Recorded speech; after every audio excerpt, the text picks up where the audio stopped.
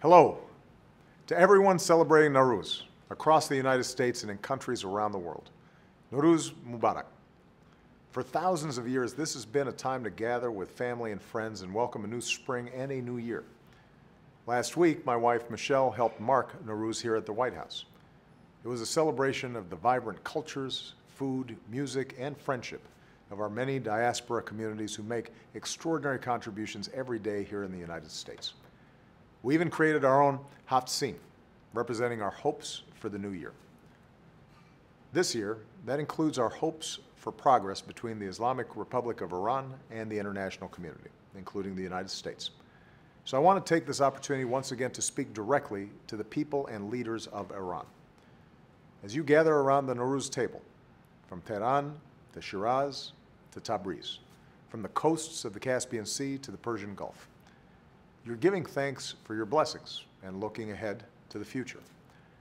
This year, we have the best opportunity in decades to pursue a different future between our countries.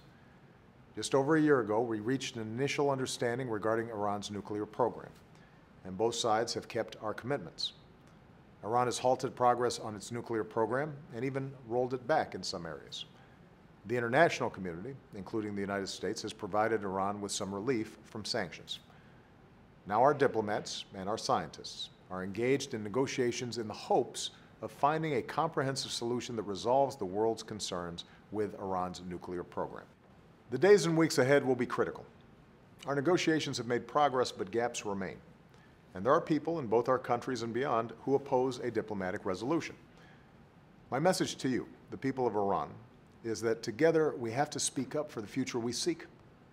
As I've said many times before, I believe that our countries should be able to resolve this issue peacefully with diplomacy.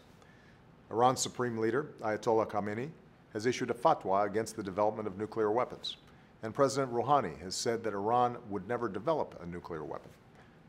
Together with the international community, the United States has said that Iran should have access to peaceful nuclear energy, consistent with Iran's international obligations.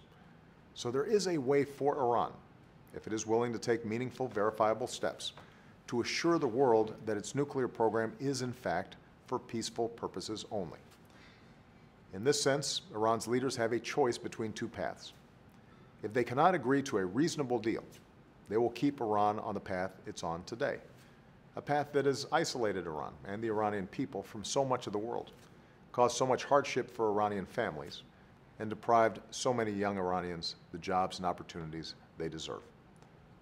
On the other hand, if Iran's leaders can agree to a reasonable deal, it can lead to a better path, the path of greater opportunities for the Iranian people, more trade and ties with the world, more foreign investment and jobs, including for young Iranians, more cultural exchanges and chances for Iranian students to travel abroad, more partnerships in areas like science and technology and innovation, in other words, a nuclear deal now can help open the door to a brighter future for you, the Iranian people, who, as heirs to a great civilization, have so much to give the world.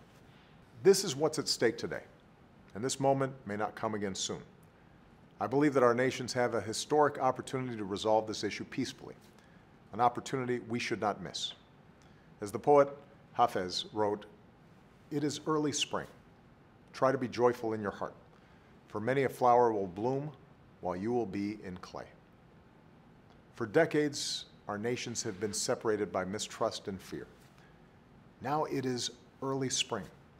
We have a chance, a chance to make progress that will benefit our countries and the world for many years to come.